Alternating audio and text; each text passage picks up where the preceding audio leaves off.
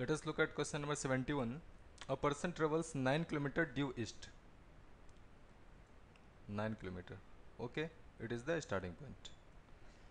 Then he travels 5 km south in this direction 5 km and further travels 3 km due west. It is 3 km. He again travels 3 km due south. It is 3 km